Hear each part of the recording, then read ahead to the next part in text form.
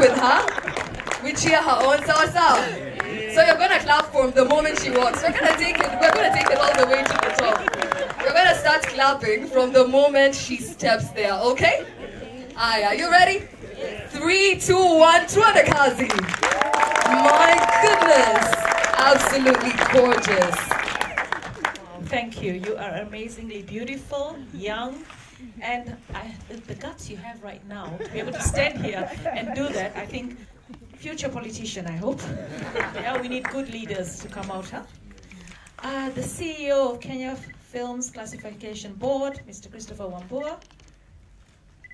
Uh, the CEO of Kenya Films Corporation Commission, uh, Mr. Timothy Owase. Anga MD, Kenneth Bett, and your entire team my fellow colleague in Parliament, Beatrice Elachi, MP for Dagoretti North, the CEO of Bonfire, who I've been a client to quite a few times, uh, Simon Kabu, uh, Mr. Rufo Gaetano, uh, the proprietor of this amazing building, and I know you've gone way out of your way to ensure that Anga gets back on track, and they appreciated you for that the clergies, amazing Kenyan actors, and all stakeholders of the Kenya film industry. I want to say good evening. Now, when I heard this film is three hours, we'll be here after midnight if we don't get started. I want to say congratulations for the investment for the entire team that is Kenyan. I recently went for a premiere at uh, Westgate for a locally produced movie called Mercy and it was about GBV and the experience of a young girl uh, who experienced rape, and it was Kenyan actors. And I tell you, it was a short film, but very impactful. We have a lot of social ills. Beatrice Elachi mentioned uh, drug and substance abuse. And we need movies to educate our people. Now, we have movies that are premiering in, in Netflix, Kenyan made movies. And I'll tell you one thing Kenyans are watching them and they're watching them because they're always trending on the Kenyan list. So we have that patriotic uh, buzz in us, you know, where we want to support our own. I would suggest, because we're also Kenyans who like good deals, and we also like freebies. So you can say, buy one, get one free, you know, all right? You know, you can do all that, or come in, popcorn, Monday. I, I remember there was a time when you had terrific Tuesdays, and uh, and happy Mondays, okay, uh, and Wednesdays. Uh, you know, I mean, Kenyans just love freebies. So if you come up with those kind of promotions, because I saw you have uh, you have tickets, uh, you're going for seven fifty per person. But if you have nights, you'll get to understand the Kenyan side. You remember we were once told we were very peculiar.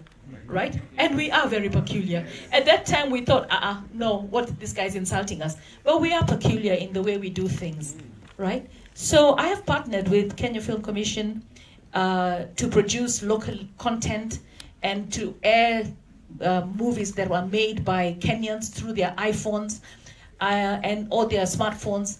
And when they did that, we chose winners, and it was fantastic. We've also done partnering with Kenyans to produce locally manufactured uh, designs where we actually gave prizes. So there are many initiatives. I think we could probably come up with uh, a movie production where we boost uh, through the National Government Affirmative Action Fund, right? Uh, somebody who produces a trailer, then we sit together and we see which of these trailers should we all support to make a good movie. And then we take it from there because I know it's really tough. I have Sabina who works in my office um, uh, for culture and creatives.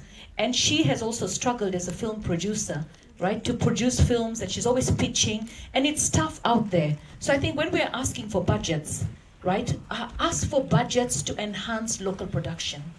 I think that is so important.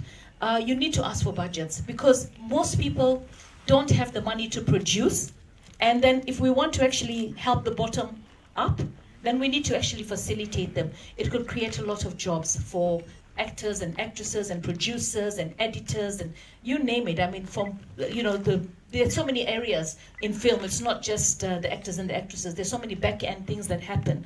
But for me, I want to say, let's get started. Let's watch this uh, great movie. And then I will do what I do always. Uh, I will, I mean, I have my 1 million followers. I noticed that I need to really help you boost your numbers. So I'm going to, I'm going to tag, um, tag as much as I can today. And then I will, I, yeah, I've already followed you. Uh, on Twitter, and then I'm also going to make sure that we give out some free tickets right? So we encourage people to come in and watch, right? But I really think come up with those special offers, right? So that people can actually feel the need to come. Because you know what? The only way to hook a customer is to let him experience what you're selling, right? So discounts, freebies, um, buy one, get one free. Uh, this, this day, girls come in free. This day, kids come in free you know, you can do that and you will actually be able to sensitize people. I agree that we need to have a film uh, theater um, everywhere in every county. I mean, it's terrible when we have one theater for two million people, right? We need to boost this, but the only way to boost this is to make it profitable. You see, Kenyans will only do something if it's profitable. And for it to be profitable, we definitely need to fill up all these chairs. So, you know, I, I, I want to think like a Dukawala, all right? you better reduce your margins, but fill up your theater. Because you will make your money on, on your mm. sodas, on your popcorns, on your turnout. So, so the thing is, there's no point in making it so expensive, and then Kenyans can't afford to come. So you end up with 10 people, and that will give the perception that, uh-uh, not many people are coming. On the other side, I think we've been seeing videos, some of them true, some of them false, saying that the CBD is not a safe place. So I want to appeal to the police, the, I, uh, the IG, to make sure that for businesses to flourish at night, for 24-hour economy, we need more security at night. And during this festive period, go to the movies, have a soft drink, enjoy the movie, right? Let's keep our people safe. Drug and alcohol abuse um, is actually uh, rendering a lot of Kenyans into depression, suicides, mental health issues. So we want to make sure that we are a country that can actually build this nation together. And for that, we really need to reduce our drug, alcohol, substance abuse in this country. And there's no better way to coming here and enjoying yourself through a movie with your family, with your loved ones, and with your would-be potential, all right? So let's have a great evening, three hours. I know we're going to be captured. I mean, I saw the trailer and it looked amazing. So let's enjoy the movie. And congratulations. I saw these were Kenyans, fellow Kenyans making the investment, all right, with an amazing Kenyan, I mean, Gaetano is more Kenyan than most of us, you know, uh, who has actually gone way out of his way to ensure that you can open this facility. So everyone that's here today, let's tweet about this place, let's talk about it, and let's visit, you know, you got one in Panari, one in Diamond Plaza, one here. So you know, you need publicity because I didn't even know about the Diamond Plaza one. So let's just support each other because that's the only way to grow our economy. Thank you all. God bless. Enjoy the movie. Much. Good evening, everyone. All protocols observed. Our woman rep. I think this evening we come here to enjoy. We used to go to movies like this. So when you're doing that Instagram, remind that young person you're coming to a movie to have popcorns and some nice juice, you know. And because we are dealing with addiction in our country today, I think this is one of the best places we must encourage our young people to come back. So I want to appreciate, first of all, Anga, and to say that I think uh, uh, we normally go kule chini kwa theater to watch some uh, African, our own, when they are talking Kikuyu, uh, Kiluya si sana, Kikuyu.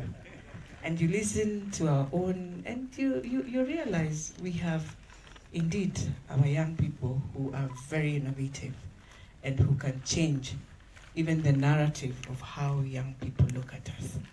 And so today, as we watch, and even as we go back to the days, as he said, as Christopher said, the days of campus when you used to come here.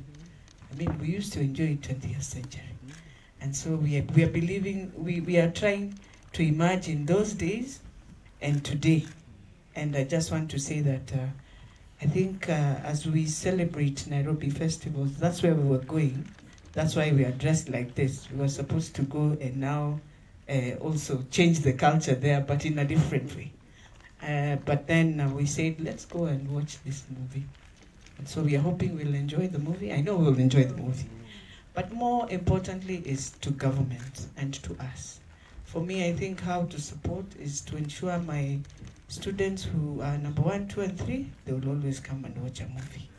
So that uh, I build that incentive to them while they are finishing. And I know I have some who are now finishing, uh, they are about to just finalize their Form 4 exams. So the first thing I'll do next week is just tell them, "Ebu twende mahali tukawatch ka movie.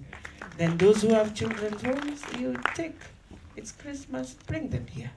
So we'll bring a few of them. But may the Lord bless you and may the Lord open up the place. And not just here, but make sure we change. We change as young people.